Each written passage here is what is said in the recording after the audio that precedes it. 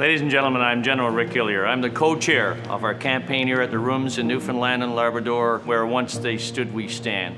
Our aim in the campaign is to commemorate the service of Newfoundlanders and Labradorians in the Great War of 1914 to 1918, specifically to remember those who fought and who gave their lives at Beaumont Hamel on the 1st of July 1916, to appreciate their sacrifice and the great life and province they gave us, and then to help educate this generation and future generations to their service.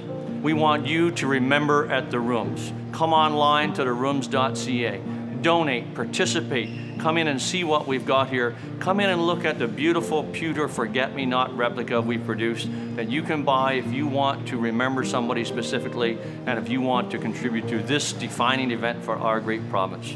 Remember them at the rooms.